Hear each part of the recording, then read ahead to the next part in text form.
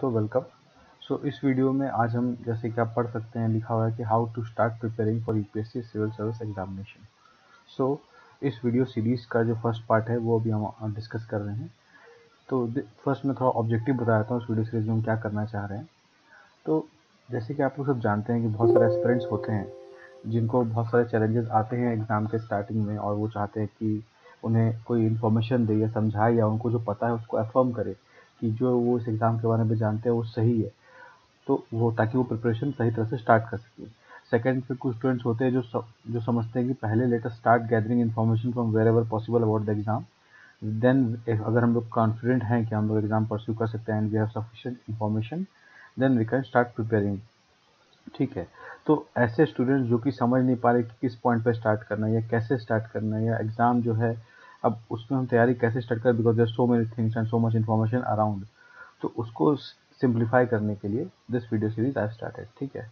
अब इसमें मैं कोशिश करूँगा कि वीडियो एज सिंपल और टू द ऑब्जेक्ट जितने ऑब्जेक्टिव रख सकूँ, रखूँ। जहाँ मुझे रेलिवेंट लगेगा कि कुछ जानकारी मुझे आपको देनी चाहिए, ताकि आपके प्रिपरेशन में हेल्प हो, वो एज एंड वेन जब वो चीज़ आएगा, सामने मैं आपको दे दूँगा।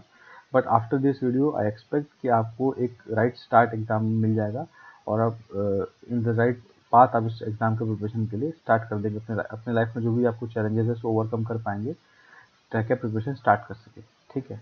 तो लेट स्टार्ट तो सबसे पहले हम देखेंगे एग्ज़ाम को स्टार्ट प्रिपरेशन में कुछ स्टेप्स हैं, जो मैंने क्लासीफाई किया तीन स्टेप्स मैंने क्लासीफाई किया जैसे मैंने टीचर वीडियो में बताया था कि तीन स्टेप्स मैंने ब्रॉडली क्लासीफाई किया फ़र्स्ट है to start preparing for any exam you have to know about the exam अब to know about the exam के लिए मैंने व्हाट इज़ यूपीएससी पे अलग सीरीज़ बनाया है, जो आप जाके मेरे चैनल पे देख सकते हैं। पर नो अबाउट द एग्ज़ाम एक डिफरेंट सेंस में कि इंडिविजुअल एग्ज़ाम जैसे तीन स्टेजेस में कंडक्ट होता है। यूपीएससी सिविल सर्विस एग्जामिनेशन जो है, वो थ्री स्टेजेस में कंडक्ट होता है, ठीक है? अब वो तीनों स्टेज को बेसिकली समझना कि if I have to start preparing for the exam then I should be able to start preparing for each of the stages right so how can I prepare तो आइडियली लोग पूछते हैं कि sir तीनों stage की कैसे तैयारी करना है? पहले फिल्म्स का करें मेन्स का करें पर्सनैलिटी टेस्ट का करें। तो सर एक जनरिक आंसर सबको देता हूँ, मैं भी दूँगा कि इंटीग्रेटेड प्रिपरेशन होना चाहिए, ठीक है? अब दिक्कत यह है कि लोग समझ नहीं पाते इंटीग्रेट प्रिपरेशन करना कैसे है, ठीक है?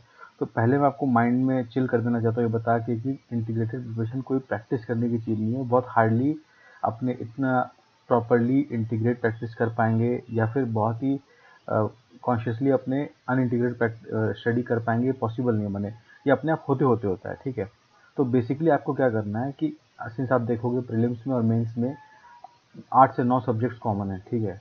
तो मैंने सब्जेक्ट्स इन द सेंस जैसे history geography polity economy science and technology environment current affairs वाली बात हो गई, ठीक है?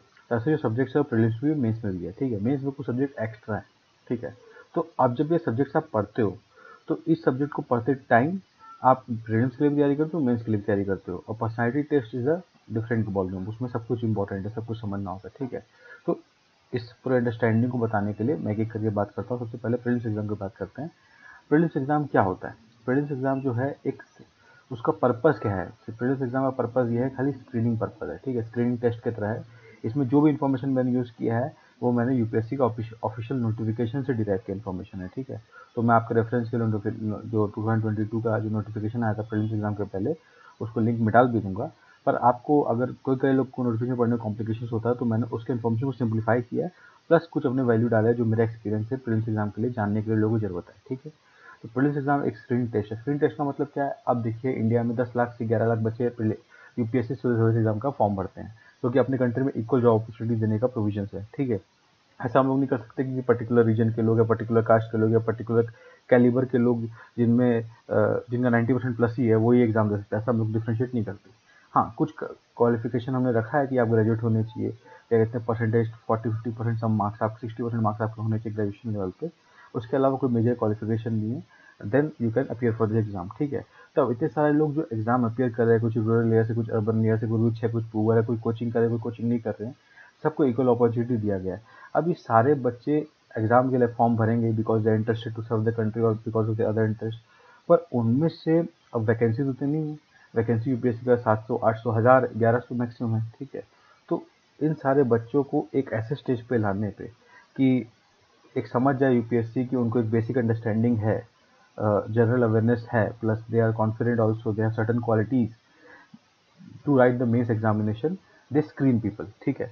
अब स्क्रीनिंग के लिए प्रीलिम्स एक टूल की तरह समझ लीजिए अपने, कि यार इसमें अगर आप मेरे से पूछे तो मैं तो बोलता हूँ prelims is exam of elimination जहाँ पे समझ लीजिए जैसे दस लाख ग्यारह लाख बच्चे फॉर्म भरते हैं, साढ़े चार, पाँच लाख बच्चे एग्ज़ाम में अपियर करते हैं, और टेन थाउज़ेंड थर्टीन थाउज़ेंड बच्चे सिलेक्ट होते हैं मेन्स एग्ज़ाम देने के लिए। तो आप समझ लीजिए around four lakh eighty nineteen thousand बच्चे सिलेक्ट ही नहीं हुए एलिमिनेट हो गए इन दिस प्रोसेस ओनली तो that's why prelims is just screening test ये बात आपके माइंड में क्लियर होना चाहिए प्रीलिम टेस्ट जो है, ये आपको फेल कराने का ऑब्जेक्टिव से आया है, ताकि वो छाट सके कुछ बच्चों को और जो बच्चे कुछ क्वालिटीज रखते हैं उनको सिलेक्ट कर सके, ठीक है?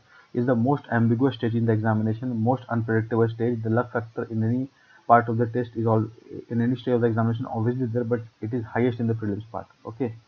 Then examination type क्या है? Examination type objective type question आता है एमसीक्यू होते हैं, कोई भी क्वेश्चन दिया रहेगा, उसमें चार ऑप्शंस रहेंगे, ठीक है? वो चार ऑप्शंस जो हैं, उनमें से आपको एक ऑप्शन सेलेक्ट करके ओएमआर में बबल करना होगा, ठीक है? तो अभी हम लोग आगे वीडियो में जब और वीडियोज़ में बनाऊँगा, उसमें भी डालूँगा ओ एम बबल करना क्या होता है। जो भी आपको ऐसे बेसिक डाउट्स आ सकते हैं एग्ज़ाम में, वो सब मैं फोकस करूँगा बट अभी मैं फोकस कर रहा हूँ मेन एग्ज़ाम के स्ट्रक्चर पे। यूपीएससी जो सिविल सर्विस एग्जामिनेशन है, उसका स्ट्रक्चर क्या है, ताकि आपको समझ में आए कि मैं कौन सा एग्ज़ाम देने जा रहा हूँ, उसमें क्या क्या पूछ सकता है, ठीक है? एमसीक्यू क्वेश्चंस पूछते हैं। मैक्सिमम मार्क्स 400 होता है। अब प्रीलिम्स एग्जामिनेशन दो पेपर में कंडक्ट होता है paper one and paper two दोनों पेपर सेम डे होते हैं। जनरली टाइमिंग ये रहता है कि पहला पेपर सुबह साढ़े नौ, साढ़े बारह होता है, दूसरा पेपर दोपहर में ढाई से साढ़े चार होता है। ऐसी कुछ टाइमिंग है, आधे घंटे का फ़र्क हो सकता है। जनरली टाइमिंग ये रहता है। और दोनों पेपर दो दो सौ मार्क्स के होते हैं, ठीक है? अब इसका एम क्या है? For selection of candidates for mains examination mains examination देने के लिए कैंडिडेट सिलेक्ट करना प्रीलिम्स एग्ज़ाम का कोर ऑब्जेक्टिव है, ठीक है? अब प्रीलिम्स एग्ज़ाम के जनरल स्टडीज़ पेपर में, जैसे मैंने बताया, दो पेपर्स होते हैं प्रीलिम्स एग्ज़ाम में। अब दोनों पेपर में उनमें क्या क्या सब्जेक्ट पूछता है, वो वाला एस्पेक्ट मैं एक्सप्लोर कर रहा हूँ, ठीक है? पेपर वन जो है, उसमें सब्जेक्ट्स पूछते हैं कौन कौन से? इंडियन पॉलिटी एंड गवर्नेंस इसका ये इंडिविजुअल टर्म्स है की टर्म्स है, जो सिलेबस में लिखा गया है। बट जनरली जो लिंगो है इस सब्जेक्ट्स का, वो रहता है पॉलिटी जैसे हम लोग बोलते हैं पॉलिटिक्स सब्जेक्ट है, ये प्रीलिम्स का एक सब्जेक्ट है। इसके अंदर जनरली जैसा कुछ मेंशन भी है कॉन्स्टिट्यूशन और rights political system of India ये सारे एस्पेक्ट को पूरा हॉलिस्टिकली कवर किया जाता है, ठीक है? इसमें आप समझ लीजिए प्रीलिम्स एग्ज़ाम में अगर कोई सब्जेक्ट इंपॉर्टेंट है जो हर बार पूछा जाता है, जिनमें कॉन्सेप्चुअल अंडरस्टैंडिंग बहुत इंपॉर्टेंट है, और इन जनरल एडमिनिस्ट्रेशन में भी कोई बच्चे जाते हैं तो उन्हें इन चीज़ की अवेयरनेस होना चाहिए तो वो है पॉलिटी एंड इकोनॉमी ये दो सब्जेक्ट ऐसा है, दो टॉपिक ऐसा है, जो यूपीएससी के एग्ज़ाम का फाउंडेशन है मतलब समझ लीजिए। इन दो का अंडरस्टैंडिंग आपको है तो आप इन जनरल इसके पूरे सिलेबस को समझ सकते हैं। बिकॉज़ कहीं ना कहीं हर सब्जेक्ट में इनका एलिमेंट आ ही जाता है, ठीक है? तो एक हो गया पॉलिटी सेकेंड हो गया इकोनॉमी इंडियन इकोनॉमी में भी बहुत सारे कॉन्सेप्ट हैं. टेक्निकल कॉन्सेप्ट भी है इकोनॉमी के, उसके अलावा कुछ कुछ ऐसे कॉन्सेप्ट है जो इंडिया के इकोनॉमी में इशू इंडिया के सोसाइटी में इशू है या कंट्री में इशू है, जिसकी वजह से इकोनॉमी इम्पैक्टेड होता है या इकोनॉमी डेवलप करने के लिए कुछ कुछ टूल्स हम अपनाते हैं, वो एस्पेक्ट भी इसमें कवर होते हैं, ठीक है? सिंस हम लोग जानते हैं अ वेलफेयर स्टेट तो सोशल डेवलपमेंट का पार्ट भी इकोनॉमी से लिंक्ड है, ठीक है? तो वो एंगल भी इस सिलेबस के कंपोनेंट में आता है। तो आपको अभी जानने के लिए क्या जानकारी चाहिए? पेपर वन में क्या क्या सब्जेक्ट्स है? पॉलिटी है, इकोनॉमी है, ठीक है?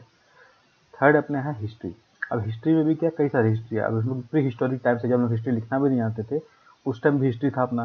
फिर हमारे पास एंशंट हिस्ट्री भी है, जैसे हम लोग बहुत पॉपुलरली हम लोग सबको जानते हैं इंडस वैली सिविलाइजेशन ठीक है? फ़र्स्ट अर्बन अर्बन अपना एक सेटलमेंट था इंडियन जिस इंडियन कंट्री सब कॉन्टिनेंट में रेलिवेंट था, ठीक है? अभी रिसेंटली उसका लोथल साइड जो है, वो भी काफ़ी न्यूज़ में है तो वो ऑब्वियसली एग्ज़ाम में रिलेवेंट रहेगा। बट पॉइंट वो नहीं है पॉइंट ये समझने का हिस्ट्री के भी कई सारे पार्ट है। एंशंट हिस्ट्री जहाँ पर हम लोग बात करते हैं टिल द टाइम आप समझ लो मौर्य पीरियड तक। मौर्य पीरियड या पोस्ट मौर्य भी बोल सकते हो आप, या गुप्ता तक। बेसिकली इट्स पोस्ट गुप्ता तक। उसके बाद हर्षवर्धन आ जाते हैं देन मिडिवल हिस्ट्री स्टार्ट हो जाता है। यहाँ पे अब medieval Indian history is about feudalism तो वो उसमें सारे पार्ट आ जाते हैं कि दिल्ली सुल्तान, उसके पहले जो घोरी आए थे उसके बाद अब मुगल एम्पायर भी आया था वो। अब मॉडर्न पीरियड स्टार्ट होता है वो हिस्ट्री वो ब्रिटिश ब्रिटिश टाइम से मनाया जाता है। जब यूरोपियंस तो इंडिया में आए थे स्टार्टिंग में तो पोर्टुगीज ठीक है? जो फोर्टीन नाइनटी एट में वास्को डिगाम आए थे, वहाँ से लेके जब ब्रिटिश इंडियन हिस्ट्री स्टार्ट हुआ, वहाँ से लेके अभी करंट तक का जो पार्ट है वो मॉडर्न इंडियन हिस्ट्री में आता है। तो ऐसे हिस्ट्री डिवाइडेड है। It is the way the Britishers है रिटर्न अबाउट इंडियन हिस्ट्री तो उसी स्टाइल से हम लोग पढ़ते हुए सिलेबस में जनरल ठीक है? तो इसमें सारे हिस्ट्री के एस्पेक्ट होते हैं। अभी इन तीनों टाइमलाइन में अब इंडिया में कई सारे आर्ट एंड कल्चर का एस्पेक्ट भी रहा है हेरिटेज का। जैसे कि आप एंशेंट में जाओ तो रॉक कट टेम्पल्स होते थे, ठीक है? उसके बाद आप मिडिवल टाइम में आओ तो दिल्ली सुल्तान के टाइम में टॉम्स होते थे। देन जैसे अपने यहाँ पे कुतुब मीनार बहुत पॉपुलर आर्किटेक्चर है। देन मॉडर्न टाइम में ब्रिटिश आर्ट है ब्रिटिश बिल्डिंग्स है।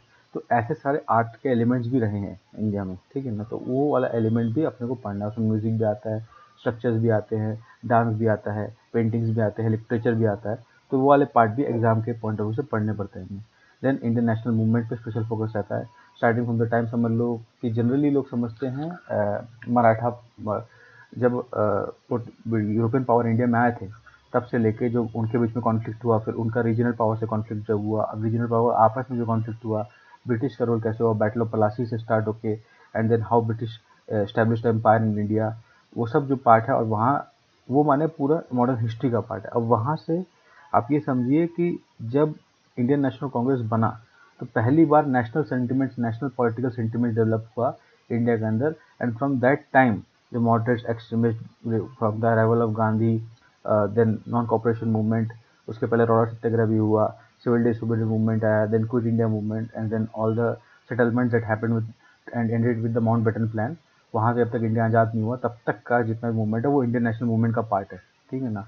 तो उस पर स्पेशल फोकस रहता है, क्योंकि अगर सब हिस्ट्री में मेंस में भी प्रीलिम्स में भी इन जनरल भी लोग हिस्ट्री पढ़ते भी हैं, उसमें समझ लिया अगर मॉडर्न इंडियन हिस्ट्री में पाँच से दस क्वेश्चन आते हैं, दस पकड़ के रखिए एवरेज कम ही आता है आजकल, पर दस मानेंगे तो चार से पाँच क्वेश्चन इंटरनेशनल मूवमेंट से आता है, वो इतना सिग्निफिकेंट पार्ट है मॉडर्न इंडियन हिस्ट्री का तो वो इस सिलेबस में कवर हो रहा है। Then we have Indian and world geography अब वर्ल्ड वर्ल्ड जोग्राफी जो सिलेबस है, उसमें इंडिया का पार्ट भी है वर्ल्ड का पार्ट भी है, ठीक है, और उसमें फ़िज़िकल पार्ट भी है सोशो इकोनॉमिक पार्ट भी है। जनरली हम लोग जब जोग्राफी पढ़ना स्टार्ट करते हैं we start with the physical geography part क्योंकि सिंपल है अपने पहले पढ़े हुए हैं, उसमें अंडरस्टैंडिंग कॉन्सेप्चुअल ज़्यादा है वो। जैसे कि एटमोस्फेरिक फिनोमिनन क्या होता है क्लाइमेटोलॉजी क्या होता है ओशनोग्राफी क्या होता है ओशन करेंट्स क्या होता है विंड करेंट्स क्या होता है ओशन की प्रॉपर्टीज़ क्या क्या होती है टेम्परेचर विंड विंड पैटर्न जो वर्ल्ड में है, उसके वजह से क्या क्या एटमोस्फेरिक फिनोमिन होता है जेट स्ट्रीम्स होते हैं साइक्लॉन्स होता है, उसके बाद एलिनो होता है एनसो बोलते हैं इसको। और भी सारे जितने भी फ़िज़िकल जोग्राफिकल फिनोमिनन है जियोमॉर्फोलॉजिकल फॉर्मेशन है mountain formation and then mid oceanic हम लोग का जो बोलते हैं कि सी फॉर्मेशन कैसे हुआ अर्थ में, जितने भी, आप समझ लो, आपके आसपास जितने भी नेचुरल डेवलपमेंट्स है, वो सब जोग्राफी के अंदर आता है, ठीक है? तो वो वाला एस्पेक्ट हम लोग पहले पढ़ना स्टार्ट करते हैं एंड उसके बाद इंडियन इकोनॉमी आता है। इंडियन इकोनॉमी में रिसोर्स ट्रांसपोर्ट सेटलमेंट्स या फिर ह्यूमन जोग्राफी बोलते हैं उसको, उसमें वर्ल्ड वाला एक्सपेक्ट भी आता है। इसमें पॉपुलेशन ये सब सारे एलिमेंट्स जब जुड़ते हैं तो ह्यूमन जोग्राफी का एलिमेंट हो जाता है। मेनली उसमें resource industrial factors and resource location क्या क्या है, वो कैसे जियो पॉलिटिक्स को इन्फ्लुएंस करता है, वो वाला एक्सपेक्ट भी हम लोग यहाँ समझ सकते हैं थोड़ा सा जोग्राफी के अंदर आ जाता है, ठीक है? और उसके बाद हम थोड़ा स्पेस की बात करते हैं सन मून अर्थ का फॉर्मेशन कैसे हुआ, वो भी कुछ जोग्राफी के अंदर आता है। ये सब मैं जो टर्म्स बोल रहा हूँ ना, आपको सुन के एक बार के लिए सरप्राइजिंग हो सकता है, क्योंकि सिलेबस में कहीं भी ये सब चीज़ स्पेसिफाइड नहीं है डायरेक्टली समझ लो but it is how the content of the syllabus is ठीक है ना? तो इसलिए मैं आपको यहीं पर ब्रीफ कर दे रहा हूँ ताकि आपको सेंस बन जाए। अगर आप एक न्यू स्टूडेंट हो एग्ज़ाम का प्रिपरेशन स्टार्ट करने वाले हो तो अपने कंटेक्स्ट बन जाए, यहीं कहीं कि अच्छा इस टाइप के टॉपिक हमारे सिलेबस में तो घबराओ नहीं, आपके माइंड में एक तो प्रिपेयरनेस बन जाए पढ़ने के लिए। देन उसके बाद जिनको लोग जनरल लिंगो में बोलते हैं इन्वायरमेंट तो जनरल इशूज और इन्वायरमेंट इकोलॉजी इसमें लोग बायोडावर्सिटी पढ़ते हैं। जैसे इसमें मेंशन भी है क्लाइमेट चेंज पढ़ते हैं ओजोन डिप्रेशन पढ़ते हैं इंटरनेशनल एग्रीमेंट्स पढ़ते हैं सस्टेनेबल डेवलपमेंट पढ़ते हैं। एंड देन उसके बाद हम लोग जो क्लाइमेट चेंज लिखा तो उसी के पैरेलल कोस्टल कोस्ट मैंने कोस्ट मैनेजमेंट जिसको कोस्टल रेगुलेशन जोन हम लोग क्लासीफाई करते हैं। और भी फंडामेंटल लॉज है जो इन्वायरमेंट से रिलेटेड है फिर फॉरेस्ट राइट्स एक्ट है, ऐसे कई सारे इंडियन लॉज भी है। फिर हम लोग रिन्यूएबल एनर्जी वाला बात भी पढ़ते हैं। तो ऐसे सब चीज़ इन्वायरमेंट के अंदर आते हैं और हम लोग स्पेसिस स्पेसिफिक बात भी करते हैं कि कोई स्पेशीज जैसे थ्रेटेंड है वलरेबल है आई लिस्ट निकलता है। इसके सबके जो कॉन्सेप्चुअल पार्ट है इन्वायरमेंट एंड इकोलॉजी के अंदर आता है। इकोलॉजी में भी जैसे वाला पार्ट आया था कि इकोलॉजी क्या है सिस्टम क्या है बायोम्स क्या है बायोग्राफिकल रियलम क्या है, ये सब अंडरस्टैंडिंग आपको फंडामेंटल अंडरस्टैंडिंग बनाना पड़ेगा इन्वायरमेंट को ओवरऑल समझने के लिए।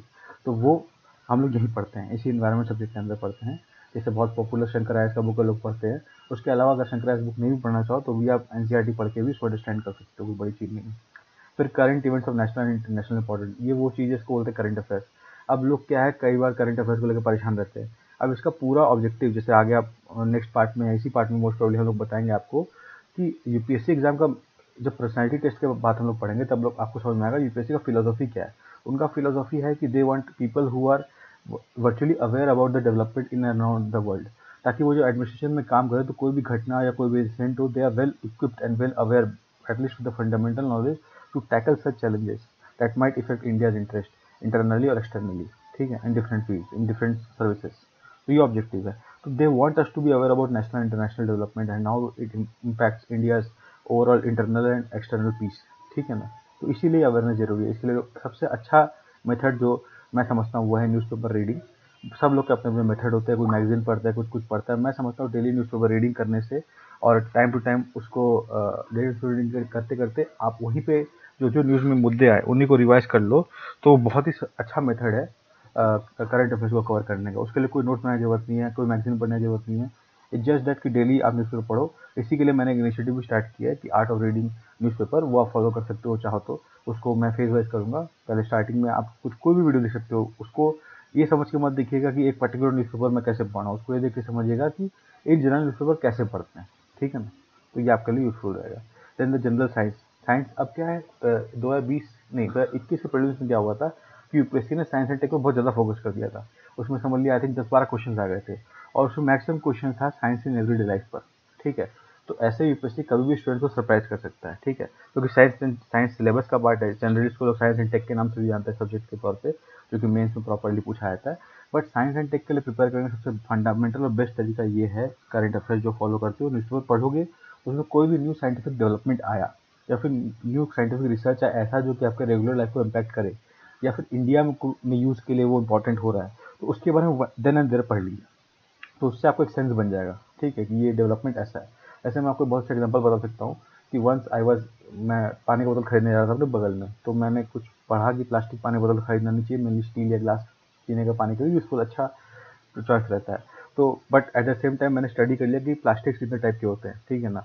हर प्लास्टिक, जैसे अपने जानते हैं, घर में अपने बहुत सारे आइटम्स होते हैं जो प्लास्टिक से बने होते हैं। जैसे अब लिक्विड कॉयल जो अपने मॉस्किटो रिपेलेंट के मॉस्किटो भगाने के लिए यूज़ करते हैं, वो भी प्लास्टिक है। अपने पानी का बोतल भी प्लास्टिक का होता है।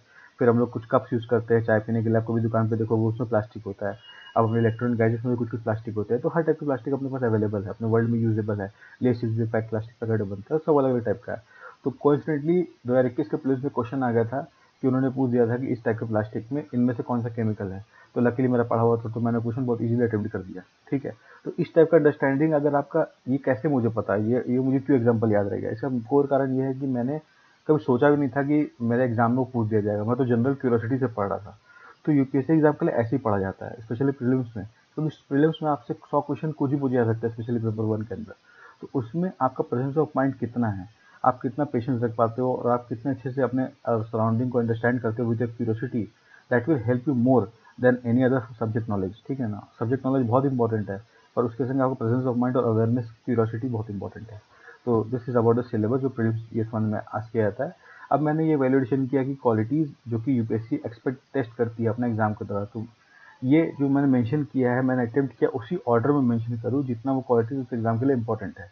तो प्रीलिम्स का जो पेपर वन है, ये जनरल स्टडीज़ पेपर वन है, जिससे डिसाइड होता है, जो मेनली स्क्रीन करता है लोगों को एग्ज़ाम में लिखने के लिए तो उसमें सबसे पहले आप देखिए कॉन्फिडेंस और डिसीज़न मेकिंग ये दोनों इक्विवेलेंट ही समझ लीजिए। क्यों? क्योंकि अगर आपको कोई टॉपिक का नॉलेज नहीं भी है, ठीक है बट आपके अंदर कॉमन सेंस है, आप उसको इंग्लिश वाइज भी पढ़ के अगर कुछ ऑप्शन एलिमिनेट कर पाते हो, ठीक है, या फिर आप कुछ सोच पाते हो लॉजिकल थिंकिंग कर पाते हो तो सबसे अच्छा चैलेंज आता है आपको वो आंसर टिक करना माने वो एम आर शीट में, ठीक है। आपको कॉन्फिडेंस नहीं आ पाता, आपको लगता है मुझे नहीं आता आप उसे मिस कर देते हो, ठीक है? जैसे आप क्वेश्चन पढ़ रहे हो, आपने कभी सुना नहीं होता अपने प्रिपरेशन में। तो आप ये भूल जाते हो कि सिर्फ़ प्रिपरेशन में जो पढ़ा है, वही एग्ज़ाम में पूछना ज़रूरी नहीं है। आपके रियल लाइफ में भी कुछ एक्सपीरियंस नॉलेज हो सकता है। तो उस नॉलेज को भी यूज़ कर सकते हो आप कॉन्फिडेंटली ठीक है? फ़र्स्ट वो है कॉन्फिडेंस वाला एस्पेक्ट सेकंड है डिसीज़न मेकिंग वाला एस्पेक्ट अब जैसे आप एग्ज़ाम पेपर दे रहे हो, ठीक है? आपको वो क्वेश्चन नहीं आया तो आप उसमें दो चॉइस आपके पास। या तो वो क्वेश्चन स्किप कर सकते हो, ठीक है? या वो क्वेश्चन में घुसे रह सकते हो कैसे मेरे से नहीं हुआ, ठीक है? इट्स अबाउट डिसीज़न तो वो डिसीज़न जो आपने वहाँ पे लिया एग्ज़ाम के दौरान, ठीक है, वो आपको हेल्प बताएगा कि आपने पेपर में सही किया या गलत किया, ठीक है, कोई डिसीज़न सही गलत नहीं होता। इट्स अबाउट कि how that decision lead you to a thing ठीक है ना तो डिसीज़न मेकिंग एबिलिटी जो है हर इंडिविजुअल का अलग अलग होता है, वो एग्ज़ाम में रियल में टेस्ट होता है। Not only in exam I believe कि पूरे यूपीएससी एग्ज़ाम के प्रिपरेशन जर्नी में एक बंदे जो जो डिसीज़न लेता है, वो उसके पूरे जर्नी को और उसके एग्ज़ाम रिज़ल्ट को काफ़ी इंपैक्ट करता है। जैसे फॉर एग्ज़ाम्पल आप अभी मेरा वीडियो देख रहे हो, ठीक है कुछ लोगों को मेरा वीडियो अच्छा लगा कुछ लोगों को वीडियो खराब लग गया। आइडिया वो नहीं है कि वीडियो अच्छा ही खराब आइडिया ये है कि वो वीडियो आपको कैसे हेल्प किया, ठीक है? अब समझ लीजिए आपके कुछ आपके कुछ गैप्स थे प्रिपरेशन में, आपको कुछ डाउट्स थे। अगर वो इस वीडियो से एड्रेस हो रहा है तो ये वीडियो आपके लिए बहुत अच्छा है, ठीक है ना? But at the same time जो बंदा है, वो बात जानता है, उसके लिए वीडियो तो रिलेवेंट नहीं है, ठीक है? वो वाला बात आ गया। बट अगर वो वीडियो देख के तीस मिनट वेस्ट करता है, ठीक है? और एक बंदा ऐसा है जो वीडियो, जो इस कॉन्सेप्ट को नहीं आता था, वो तीस मिनट वीडियो देखता है। तो दोनों को उससे जो आउटकम मिला, वो डिफरेंस है। समझ हो ना? एक मज़े के लिए देख रहा है, एक नॉलेज के लिए देख रहा है। तो वो एग्ज़ाम्पल है डिसीज़न मेकिंग का। सिमिलरली अब कोई बंदा पॉलिटी के लिए लक्ष्मीकांत पढ़ेगा, कोई दास एक और बहुत पॉपुलर किताब है I think D Das something like that उस पॉलिटी बुक का नाम है, वो पढ़ेगा। कोई शंकर ऐसे इन्वायरमेंट पढ़ेगा, कोई अपने बेसिक इन्वायरमेंट पढ़ेगा। कोई एन सी हिस्ट्री पढ़ेगा, कोई एन कोचिंग से पढ़ेगा। तो this all about the decision ठीक है ना? तो ये डिसीज़न आप जो लेते हो कि कोचिंग से पढ़ो इंडिविजुअली पढ़ो या पर्सनल पढ़ो आप प्रैक्टिस कर रहे हो नोट्स बना रहे हो, नहीं बना रहे हो, ये सारे डिसीजंस है। आप प्लान बना के पढ़ाई कर रहे हो रैंडमली पढ़ाई कर रहे हो, ये सब डिसीजंस है जो एग्ज़ाम के दौरान आप लेते हो। तो decision making I believe is the most significant factor जो यूपीएससी के हर स्टेज पे इंपॉर्टेंट है। पर कॉन्फिडेंस जो है, वो प्रीलिम्स पॉइंट ऑफ़ व्यू से इक्वलेंटली ज़्यादा इंपॉर्टेंट है। मेन्स में भी इंपॉर्टेंट है, पर प्रीलिम में बहुत ज़्यादा। क्योंकि प्रीलिम में it's all about objective question एक क्वेश्चन में कॉन्फिडेंस लूज हो गया तो आगे का दो क्वेश्चन खराब हो सकता है। इसलिए वो ज़्यादा बड़ा फैक्टर है। फिर awareness of the world around जैसे मैंने पहले बताया ये, इस वाले में साइंस एंड टेक के बारे में, या करंट इवेंट्स वाले पॉइंट में, कि एक यूपीएससी एस्पिरेंट को जनरली अवेयरनेस होना चाहिए अपने वर्ल्ड अराउंड के बारे में। मैंने आज क्या चल रहा है, देश के अंदर, दुनिया के अंदर क्या चल रहा है, क्या मोटी गतिविधि है। भले वो एग्ज़ाम में डायरेक्टली ना पूछे, पर आपके माइंड में एक लिंकेज बनाती है। आपके वर्ल्ड अराउंड के और एक सिलेबस में जो जो मुद्दे हैं, अगर आप उसको स्पेसिफिकली पढ़ते हो तो आपके माइंड में वो धीरे धीरे slow slow one step by step learning होती है, जो आपके ओवरऑल नॉलेज डेवलपमेंट के लिए इन्हेंसमेंट के लिए ज़रूरत है। एक टाइम आपके लाइफ में ऐसा आएगा, अगर आप एक दो महीने लगातार पेपर पढ़ लो इतनी ईमानदारी से तो आपको लगने लगेगा कि सब कुछ आप समझ ही हो दुनिया में क्या चल रहा है। आपको एक अलग ही कॉन्फिडेंस आ जाएगा कि आप इतने लाइट हो जाओगे नॉलेज के टर्म में, आप कुछ भी नया नहीं पढ़ोगे, आपको लगा सब कुछ तो यही है। तो वो कॉन्फिडेंस एग्ज़ाम के लिए बहुत ज़रूरत है। उस, उसी से ये कॉन्फिडेंस वाला पार्ट आता है।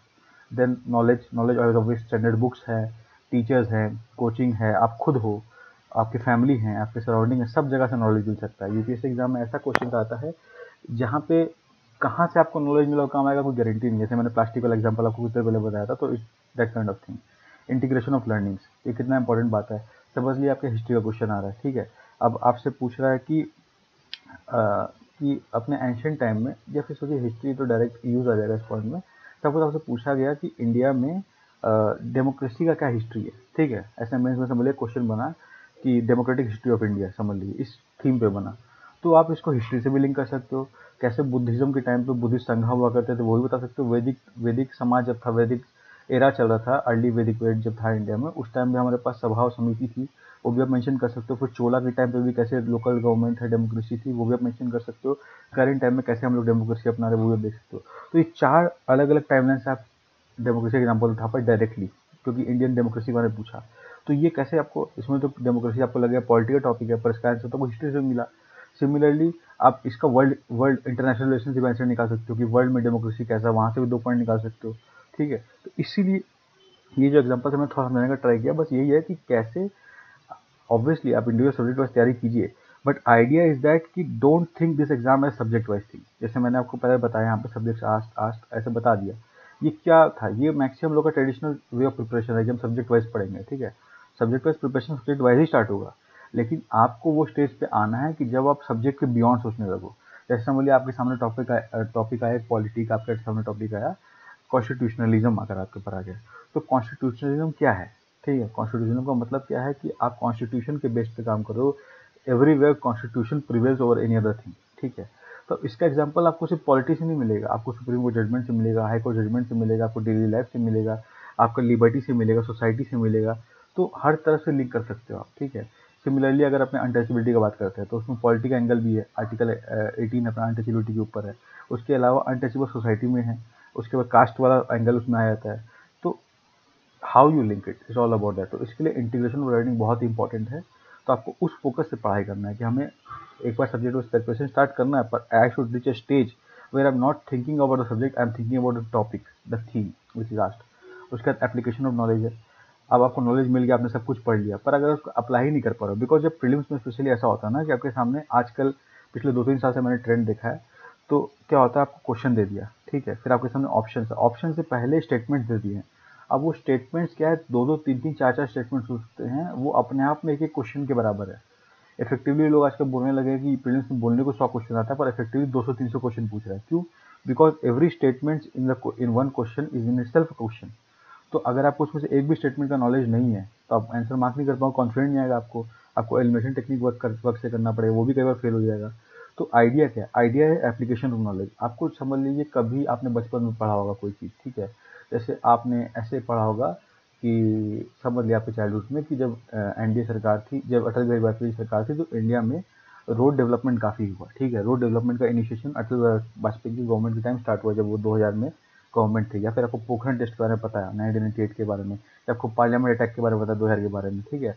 तो ये तीन चार एग्ज़ाम्पल समझ लिया आपको पता बचपन में कहीं से सुना न्यूज़ में, पापा मम्मी से सुना ठीक है? अब एग्ज़ाम दे रहे हैं। अब आपके सामने क्वेश्चन आ गया इस तरह का कि the road development innovation in India started taking place in the recent five to six years ऐसा आएगा नहीं, मैं जस्ट एग्ज़ाम्पल ले रहा हूँ अगली। तो आपको पता ऐसा हो नहीं सकता। क्योंकि आज से 22 साल पहले अटल जी ने स्टार्ट कर दिया रोड डेवलपमेंट तो पाँच साल का इनिशिएटिव तो हो नहीं सकता तो स्टेटमेंट रॉन्ग हो गया। तो what is this this is my application of knowledge that I have known earlier ठीक है? सिमिलरली करंट नॉलेज पकड़ लीजिए। आप पेपर पढ़े हो, आपने पढ़ा कि अभी गुजरात बीच कोलैप्स हो गया, ठीक है? आपको एक क्वेश्चन में, आपके मेन्स एग्ज़ाम में क्वेश्चन आ गया, समझ लीजिए, ठीक है? जैसे प्रीलिम्स का बात करें, पर समझ लीजिए मेन्स में क्वेश्चन आ गया कि एडमिनिस्ट्रेटिव फेलियर जो है, काफ़ी हो रहा है, उसको करंट इंस्टेंस से जोड़ के दिखाइए आप, ठीक है? तो आप बता सकते हो गुजरात मोरबी में बीच कोलैप्स हुआ, ये का एग्ज़ाम्पल हो गया? तो ये आपको ऐसे आप पढ़ते रहोगे, आपको समझ में नहीं आएगा कि एग्ज़ाम में क्या, इसको कैसे यूज़ करना है। पर अगर आप पेपर उस तरीके से पढ़ोगे कि पहले अपना मेंटल फ्रेमवर्क बना लोगे कि इस टाइप का कंटेक्स मैं एग्ज़ाम में कैसे यूज़ कर पाता हूँ तो आप उस नॉलेज को अप्लाई कर सकते हो राइट तो उस कंटेक्स से ये पॉइंट लिखा गया। फिर self belief self belief in the sense जैसे मैंने पहले बताया कॉन्फिडेंस में भी कि आपने आंसर निकाल लिया क्वेश्चन का, ठीक है? अब कई बार क्या होता है, हम लोग हेजिडेंट होते हैं, यार कि हमने आंसर निकाल लिया, पर इतना श्योर आंसर नहीं तो बबल में मार्क करूँ कि नहीं करूँ मार्क करूँ कि नहीं करूँ। अगर मार्क करूँगा तो नेगेटिव हो जाएगा, नहीं मार्क करूँ तो यार फिर अगर ऐसा लगा कि यार जाऊँगा, घर में पता चला राइट हो गया तो फिर क्या होगा? तो ये जो इंस्टेंस आपके संग डिलेमा एग्ज़ाम में हो सकता है it's only because of lack of self belief तो आपको सेल्फ बिलीफ रखना है।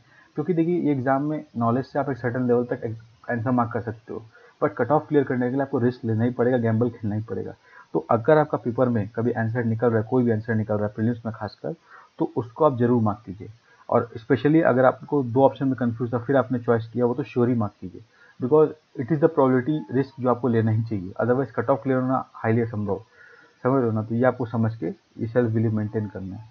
देन क्लैरिटी क्लैरिटी इस बात का कि आप एग्ज़ाम क्यों दे रहे हो, वो एक क्लैरिटी है। फिर एक क्लैरिटी ऑफ़ कॉन्सेप्ट कि आप जो पढ़ रहे हो कि आप समझ लीजिए मैंने पढ़ा क्लाउड्स के बारे में। जोग्राफी पढ़ा उसमें मैंने क्लाउड के बारे में पढ़ा। तो मुझे उसी टाइम क्लैरिटी होना चाहिए कि किस किस टाइप के क्लाउड होते हैं। ठीक है, जैसे स्टेटस मिडिल लेयर में स्टेटस होता है हाई एल्टीट्यूड में सीरस होता है, क्यों, फिर क्यूमलो निम्बस जो होता है वो रेन बेरिंग क्लाउड होता है निम्बस माने रेन बेरिंग क्लाउड होता है, ठीक है। तो ये सब जो टर्म्स है, उसी टाइम में समझ जाऊँ तो अच्छा रहेगा, ठीक है। तो वो क्लैरिटी ऑफ़ कॉन्सेप्ट के अंदर होनी चाहिए हर time then time management time management मतलब क्या? एग्ज़ाम में पेपर देने बैठे, आपने देखा यार कि मेरा बीस मिनट बीत गया, मेरा दस ही क्वेश्चन बना है मैंने काफ़ी टाइम लॉस कर दिया और मैं नर्वस भी हो गया हो। तो ये आपको अवेयरनेस होना चाहिए, इसको एग्ज़ाम अवेयरनेस भी बोल सकते हो आप कि आपको अवेयरनेस होना चाहिए अच्छा मैंने डिले कर दिया। तो मैं आगे का पाँच क्वेश्चन पहले वो करूँगा जो मुझे आता है, या फिर मैं फास्ट मूव करूँगा, मैं देखूँगा मुझे आता है तो मैं करूँगा, वरना सीधा स्किप करते जाऊँगा और लास्ट तक पहुँच जाऊँगा। एक बार मुझे सौ का सौ क्वेश्चन देखना है, इस चक्कर में अगर मैं एक क्वेश्चन फोकस करने बैठ गया और नहीं आता, उसमें मैं टाइम लगा दिया तो आई इट माइट हैपन कि मैं सवा क्वेश्चन ना पढ़ पाऊँ या नब्बे से हंड्रेड तक नहीं पढ़ पाऊँ। वो क्वेश्चन पूरा ज़ीरो हो जाए, और हो सकता है इजी क्वेश्चन वही तो तो आप जब भी पेपर दो, उसमें टाइम मैनेजमेंट का मतलब ये है कि आप स्टार्ट करो पेपर देना। आप पहला क्वेश्चन पढ़ो, आता है टिक लगाओ, वरना स्किप करो, बढ़ते जाओ। और जो क्वेश्चन आप स्किप करो उसको गोला लगा लो, या फिर कुछ मार्क भी बना लो। ऐसे हंड्रेड क्वेश्चन लगा, वो ज़रूर पढ़ना है फ़र्स्ट और जो जो आपको सिटिंग वन राउंड में हो रहा है, वो पहले फिल कर लीजिए टिक लगा लीजिए और बबल करना बबल कर लीजिए देन आप उस क्वेश्चन में आए जो आप स्किप किए। तभी आप पेपर के टाइम को इफेक्टिवली मैनेज कर पाएँगे। और रेगुलर चेक रखना, इसका पूरा प्लानिंग होता है प्रीलिम्स एग्ज़ाम कैसे देना how to work in how to give the prelims exam, वो भी हम लोग वीडियो पे बनाएँगे, उस पर डिस्कस करेंगे ये वाला बात। पर आपका अंडरस्टैंडिंग के लिए ज़रूरी है कि टाइम मैनेजमेंट क्या एस्पेक्ट है। और टाइम मैनेजमेंट सिर्फ़ एग्ज़ाम देते टाइम नहीं एग्ज़ाम के पहले भी आप जो प्रिपरेशन करो उसमें भी टाइम मैनेजमेंट होता है। आपको लग रहा है आपने चार पाँच घंटा दिन में पढ़ लिया, अब थक गए हो अब आप पढ़ोगे तो आपको समझ में नहीं आएगा तो छोड़ दीजिए, वो बेटर है। Rather देन दो घंटा बैठ के उसको सर पीटने से जो कुछ इफेक्टिवली समझ में ना आए, उससे बेटर है कि आप मत पढ़िए। जितना टाइम पढ़ने बैठे इफेक्टिवली पढ़िए, ठीक है? That is the more concept is फिर मेमोरी का भी कुछ है सब जानते हो, बहुत सारे फैक्ट्स और डेटा आपको याद रखने पड़ सकते तो मेमोरी भी एक कंपोनेंट है। एलिमिनेशन स्किल ऑब्वियसली लोग इसको फ्रेंड्स में बहुत ज़्यादा इंपॉर्टेंट मानते हैं एलिमिनेशन स्किल को but I believe elimination skill is important but still other things which I mention earlier before elimination skill are equally and more important elimination skill skill. Question selection इसको मैं थोड़ा ज़्यादा important, importance देता हूँ, क्यों?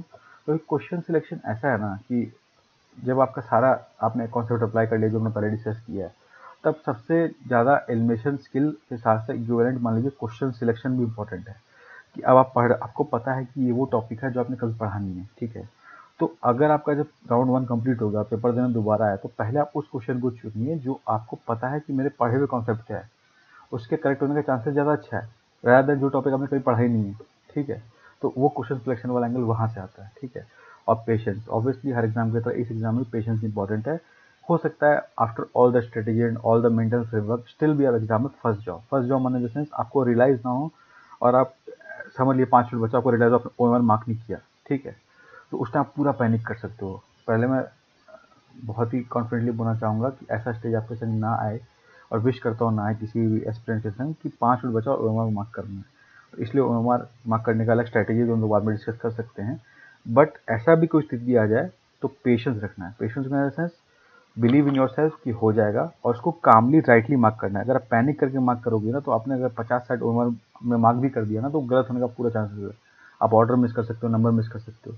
तो the solution to this is की patient मतलब माइंड को पेशेंस बना के रखिए जिस भी स्टेज में एग्ज़ाम के हो, कितना पैनिक सिचुएशन हो पेशेंस से ही आपका वो चीज़ें करेक्टली होंगी। अदरवाइज़ वो होने का चांसेस कुछ नहीं है। जो होगा गलत ही होगा। पेशेंस से ही एग्ज़ाम क्लियर हो सकता है, समझ लीजिए patience is the foundational value समझ लीजिए पूरे एग्ज़ाम में। देन उसके बाद पेपर ये पेपर वन का मैंने डिस्कस कर दिया कि क्या सब्जेक्ट्स हैं, कैसा पेपर का नेचर है, ठीक है? उसके बाद हम लोग को क्या क्वालिटीज़ टेस्टेड हो रही है एग्ज़ाम में, वो क्वालिटीज़ हमें उसको मैंने थोड़ा समझाने का भी ट्राई किया आपके रेफरेंस के लिए। देन पेपर टू अब पेपर टू का खास बात यह है ना कि ये पेपर टू इज़ आप समझ लीजिए, वो वाला पेपर है कि जहाँ पे वो क्वालिफाइंग नेचर का बेसिकली क्वालिफाइंग नेचर का इन द सेंस कि पेपर टू एक्सपेक्ट करता है कि आप इसमें बहुत अच्छा परफॉर्म कर सकते हो तो कीजिए। But at least one third marks ले आइए। जैसे टू हंड्रेड मार्क्स का पेपर होता है तो आपसे एक्सपेक्टेड है कि खाली आप sixty six point six seven यानी कि सिक्सटी सेवन प्लस नंबर ले आइए तो आप पेपर को क्वालिफाई कर देंगे ठीक है? But the challenge is that कि इस पेपर में आ, अभी करेंट समय में क्या हो गया कि काफ़ी सारा इंटीग्रेशन और कॉन्सेप्ट हो गया है ठीक है? जैसे कि अगर मैं क्लासीफाई करके आपको रफली बताऊँ तो 52 क्वेश्चन मैथ्स लॉजिकल रीजनिंग और डेटा इंटरप्रिटेशन से आते हैं 28 क्वेश्चन रीडिंग कॉम्बिनेशन इंग्लिश वाले पार्ट से आते हैं ठीक है? तो इन क्वेश्चंस को सॉल्व करने में जो टाइम लिमिट है ना सिंस इज़ टाइम एग्ज़ाम आपको दो घंटे में अस्सी क्वेश्चन करने हैं, ठीक है? तो अगर उसमें इंटीग्रेशन ऑफ़ कॉन्सेप्ट हो होगा तो सॉल्विंग करने के लिए आपके पास जितना टाइम होना चाहिए, उससे ज़्यादा समय लगेगा ऑब्वियसली तो इसको सॉल्व करने में आजकल लोगों को दिक्कत आ रहा है। लोग होता है पेपर वन में हंड्रेड मार्क्स ले आते हैं और कट ऑफ़ क्लियर कर लेते हैं, पर पेपर टू क्वालिफाई नहीं कर पाते, इसी में प्रीलिम्स क्लियर नहीं होता। ऐसे भी लोग स्ट्रगल कर रहे हैं, ठीक है? तो ये चीज़ आपको ध्यान रखना प्रीलिम्स पेपर टू के लिए पेपर टू को लाइटली नहीं लेना सी एग्ज़ाम जो है आजकल क्रिटिकल हो गया है। जैसे अब सिंपल फिलोसॉफी में चाहिए। यूपीएससी एग्ज़ाम क्यों करा रहा है? स्क्रीन करने के लिए फ़िल्टर आउट करने के लिए। लोगों को फेल करना चाह रहा है उस एग्ज़ाम में। तो उसका ऑब्जेक्टिव है कि अगर जी एस वन में फेल नहीं हो तो जी एस टू में फेल करेंगे लोगों। पेपर और टफ हो गया स्पेशली बीस और इक्कीस का अगर आप सी शर्ट देख लो तो आपको लगेगा क्या चल रहा है। बीस, इक्कीस और बाईस का तो और ही नेक्स्ट लेवल ठीक है ना? तो ये अंडरस्टैंडिंग आपको बनाना है। अब देखते हैं इसमें क्या क्या टॉपिक्स पूछते हैं। कॉम्बिनेशन मैंने reading combination twenty eight question paper में डायरेक्टली रीडिंग कॉम्बिनेशन और इंटरपर्सनल स्किल से पूछता है। इंटरपर्सनल स्किल्स और कम्युनिकेशन स्किल का क्वेश्चन कैसे होता है? मोस्ट प्रॉब्ली इस रिलेशन रिलेटिव्स वाला कि आप जो है आपके पिता, आपके माता, आपके भतीजे इस टाइप का क्वेश्चन या फिर आपको बोलेगा कि you are moving north you are moving south you are moving left ये कम्युनिकेशन स्किल्स है राइट आप किसी को आपसे रास्ता पूछे तो कैसे बताओगे? सीधा जाके बाएँ जाए, दाएँ जाए। तो इस टाइप के क्वेश्चन जो बनते हैं, वो ये इस वाले पार्ट में आते हैं, ठीक है? Then it's about logical then next topic is logical reasoning and analytical ability it's about L R इसको शॉर्ट में लोग एल आर बोलते हैं। अगर आप कैट एग्ज़ाम दिए तो समझ सकते हो लॉजिकल रीजनिंग क्या होता है। इसमें आपको एक पजल दे देगा, ठीक है? या एक सीनरी दे देगा। जैसे कि बता दिया कि there are five boys and six girls ठीक है? आपको टू बॉयज़ और थ्री गर्ल्स चॉइस करने फॉर अ कॉम्पिटिशन तो in how many ways you can select it तो इस टाइप के क्वेश्चन जो है, ये लॉजिकल रीजनिंग से भी हो सकते हैं, ठीक है? या फिर आपको बोल दिया कि लॉजिकल रीजनिंग के अंदर भी आ सकते हैं। या फिर इसको ऐसे भी बोल दिया कि आपके पास पाँच लड़के छः लड़की हैं। आप छः लड़के हैं, आपको उनको दो रूम में अरेंज करना है पाँच पाँच करके। ऐसा कि हर रूम में दो लड़का और तीन लड़की हो तो कितने वे से कर सकते हैं? तो ये भी क्वेश्चन बन गया लॉजिकल रीजनिंग अंडरस्टैंडिंग में। या फिर आपको बोल दिया, एक बिल्डिंग है और उसमें पाँच लोग रहते हैं, आपको उसमें कंडीशन दे दिया कि वो पाँच लोग हैं, पाँच अलग अलग फ्लोर पर रहते हैं अलग अलग एज हैं, उनके अलग अलग हॉबीज़ हैं। आपको ऐसा कंडीशन दे देगा, जैसे आपको किसी का हॉबी दे दिया, किसी का फ्लोर दे दिया, किसी का एज दे दिया, कि तीनों को मैप कीजिए, कि कौन कितने एज का, कौन से फ्लोर पे किस हॉबी वाला रहता है, ठीक है? तो ये पूरा लॉजिकल रीजनिंग का सवाल है। इसको puzzle type of question logical reasoning वाला क्वेश्चन ये भी पूछा जाता है। अब डिसीज़न मेकिंग वाले सवाल या प्रॉब्लम सॉल्विंग वाले सवाल डेटा इंटरप्रिटेशन वाले सवाल, आपको कुछ डेटा दे दिए, कुछ चार्ट दे दिए, कुछ टेबल कुछ चार्ट दे दिए, कुछ टेबल दे दिए। आपको बोला कि अब इससे इन इस डेटा और चार्ट को रेफरेंस लेके आप कुछ क्वेश्चन आंसर दीजिए जैसे कि आपको दे दिया, एक क्लास में अगर पच्चीस बच्चे हैं और उनमें से टेन दस बच्चे जो खाली केमिस्ट्री पढ़ते हैं, पाँच बच्चे खाली फिजिक्स पढ़ते हैं और दस बच्चे खाली मैथ्स पढ़ते हैं, ठीक है? और उसमें अब आपको बता, या ये तो मैंने बहुत सिंपल बता दिया या फिर समझ लीजिए केमिस्ट्री के बारह बच्चे हैं फिजिक्स के बारह बच्चे हैं और मैथ्स के बारह बच्चे हैं, ठीक है? तो आपको बताना है सिर्फ़ सिर्फ़ केमिस्ट्री कितने बच्चे पढ़ते हैं, सिर्फ़ फिजिक्स कितने बच्चे पढ़ते हैं, सिर्फ़ मैथ्स कितने बच्चे पढ़ते हैं? इस टाइप का क्वेश्चन जो है डेटा इंटरप्रिटेशन से बनता है, या फिर कंपनी का डेटा दे दिया कि एक कंपनी का दो हज़ार बीस में इतना प्रॉफिट हुआ, दो हज़ार इक्कीस में इतना प्रॉफिट है, बाईस में इतना प्रॉफिट है, और वो जो प्रॉफिट है, उसमें सेल्स का इतना पार्ट है ह्यूमन रिसोर्स का इतना पार्ट है, ठीक है? फाइनेंस का इतना पार्ट है। तो आपको दे बताना है कि इस साल में सबसे अच्छा परफॉर्म किस सेक्टर ने किया? ठीक है ना? इन तीनों में से। या फिर तीनों सेक्टर में जो है उनमें आपस में जो डिफरेंस है वो हाईएस्ट किस ईयर में रहा है? इस टाइप के जो क्वेश्चन होते हैं वो डेटा इंटरप्रिटेशन में आते हैं ठीक है? देन उसके बाद डेटा सफिशियंसी का क्वेश्चन आ गया। डेटा सफिशियंसी का क्वेश्चन कैसा होता है कि आपको दे दिया कि कुछ डेटा मिसिंग है ठीक है ना? आ, या फिर इसको आप ऐसे ही बोलते हो सिलोजिज्म वाला पार्ट भी थोड़ा सा पूछ सकता है इसमें। आ, जैसे कि आपको बोला ऑल कैट्स आर डॉग्स ठीक है? All dogs are mouse then उसको फिर तीन स्टेटमेंट दे दिया। कि some mouse are cat? Some dog are mouse ठीक है ना? आपको चॉइस करना कौन सा करता है वो भी इसमें बन सकता है। और डेटा सफिशियंसी और भी ऐसे क्वेश्चन बन सकता है कि इसमें आपको टेबल दे दिया, उसमें तीन डेटा मिसिंग है, या फिर सीरीज़ दे दिया वन टू टेन दे दिया number of terms ten terms की सीरीज़ दे दी, उसमें ninth term fill in the blanks है। तो आपको बताना नाइन्थ टर्म कौन सा है, वो भी डेटा सफिशियंसी का पार्ट है। अब सबसे इंटरेस्टिंग बात यह इसमें लिखा है क्लास टेन लेवल तक का क्वेश्चन है। क्लास टेन लेवल तक का होगा, पर आई एम सजेस्टिंग कि थोड़ा सा क्लास इलेवन ट्वेल्व का भी स्पिल ओवर आ गया आजकल, ठीक है ना? तो थोड़ा उसको ध्यान रख के प्रिपरेशन करना है। देन जनरल मेंटल एबिलिटी वाला क्वेश्चन है जैसे आपको बोल दिया टू इंटू टू जैसे टू इंटू टू फोर होता है, अब ये आपको डायरेक्टली नहीं पूछेगा, ठीक है? आपको कुछ ऐसा क्वेश्चन दे देगा जहाँ पे आपको मल्टीप्लीकेशन बोल दिया seven two three four eight into five seven six four अब इसका बोल दिया आपको हंड्रेड ये हंड्रेड जो डिजिट होता है, जैसे यूनिट टेस्ट हंड्रेड होता है डिजिट तो हंड्रेड डिजिट का प्लेस में क्या डिजिट है, ठीक है? ये आपको पूछ देगा, ये नंबर है five seven six eight five अब ये इलेवन से डिविजिबल है, ठीक है? अगर है तो। तो वो बताइए, या फिर आपको बोल देगा इलेवन से डिवाइड किया तो क्या रिमाइंडर बचा? ठीक है? या फिर आपको बोल देगा कि नाइन से डिवाइड करके थ्री रिमाइंडर बन जाए फोर से डिवाइड करके ये रिमाइंडर बचा तो फाइंड कीजिए नंबर कौन सा है। तो इस टाइप के क्वेश्चन जो है जनरल मेंटल एबिलिटी से आते हैं। तो बेसिक न्यूमरेसी में नंबर्स वाले आ गए रिलेशन वाले आ गए ऑर्डर्स ऑफ़ मैग्नीट्यूड वाले। अब जैसे आपके सामने एथमेटिक के कुछ सवाल आ सकते हैं, ठीक है ना? जैसे कि एथमेटिक है मेंसुरेशन है ज्योमेट्री है, उसके कुछ सवाल आ सकते हैं। ये इन्हीं दो टॉपिक के अंदर से आते हैं, ठीक है? बेसिक न्यूमरेसी में जनरली सेट्स के सवाल होते हैं सेट सीरीज़ रिलेशन वाले। तो वो सवाल जो होते हैं उसमें ज़्यादा आते हैं। उसके अलावा जितने भी पार्ट है अरिथमेटिक के और एजेब्रा के, वो जनरल मेंटल एबिलिटी और बेसिक न्यूमरेसी के इंटीग्रेटेड टॉपिक्स आते हैं। ठीक है? It just to give you brief की G S two paper two में क्या क्या सिलेबस है। इसका, इसके ऊपर हम लोग एक सेशन करूँगा मैं सी सेट के ऊपर, जिसमें मैं आपको बताऊँगा पास्ट पेपर का एनालिसिस करके कैसे पेपर को अटैम्प्ट करना है, कैसे गो अबाउट करना है। उसमें आपको ज़्यादा समझ में इसके बारे में। ठीक है? फिर अब जी एस पेपर टू में what the expect general studies का जो पेपर टू है, उसमें यूपीएससी हमसे क्या एक्सपेक्ट कर रहा है? तो यूपीएससी हमसे एक्सपेक्ट कर रहा है कुछ क्वालिटीज़ वो क्वालिटीज़ क्या है? क्लैरिटी जैसे मैंने पहले बताया same book quality time management time management G S one में जितना इंपॉर्टेंट है ना, उससे बहुत ज़्यादा इंपॉर्टेंट जी एस टू में, क्योंकि यहाँ मैथ्स है। मैथ्स में कुछ क्वेश्चन ऐसे हैं जिसमें आपको एवरेज ढाई से तीन मिनट लगेगा, ठीक है? कुछ क्वेश्चन आपको डेढ़ से दो मिनट लगेंगे। आप समझिए कि फिफ्टी टू क्वेश्चन है जहाँ पे आपको सॉल्विंग करना है और वहाँ पर आपको on and average two minute minimum लग रहा है। तो एक सौ चार मिनट तो वहीं चला गया आपका, ठीक है? और उसमें भी एक्यूरेसी एट्टी परसेंट अगर रखे तब सक्सेसफुल आपका, तब कोई टेंशन नहीं है। पर उससे कम अगर एक्यूरेसी तब कुछ क्वेश्चन इंग्लिश के भी करने ठीक है ना? इंग्लिश के क्वेश्चन करने सोलह मिनट बस आपके पास अट्ठाईस क्वेश्चन इंग्लिश के तो कैसे कर पाएँगे आप, ठीक है? तो उसमें भी आप चार पाँच करोगे, हर बार में कुछ रॉन्ग हो जाए तो फिर आपको एम भी मार्क करना है, ठीक है ना? तो इट्स ऑल अबाउट दैट जिसमें मैंने जो बताया, ये मैं बेस्ट के सिनेरियो लेके बता रहा हूँ। अब एग्ज़ाम में ऐसा नहीं कि कोई क्वेश्चन आप लिए, तुरंत दो मिनट बन जाए। कई बार कोई क्वेश्चन में चार मिनट लगेगा, कोई क्वेश्चन आधा मिनट बन जाएगा, कोई क्वेश्चन दस सेकंड बन जाएगा। तो ये आपको समझना है कि टाइम मैनेज कैसे करना है। तो टाइम ब्लॉक्स में काम करेंगे। हर आधा घंटा में कोर्स करेक्शन करना है कि पाँच क्वेश्चन नहीं हुआ तो अगला पाँच क्वेश्चन हमको फास्ट करना है। ठीक है ना? तो वो टाइम मैनेजमेंट कॉन्सेप्ट है जो हम लोग बाद में डील कर सकते हैं विद प्रैक्टिस बट आपको अंडरस्टैंड रखना चाहिए कि टाइम मैनेजमेंट एक कॉन्सेप्ट है इसमें। पेपर टू में भी रेलिवेंट है।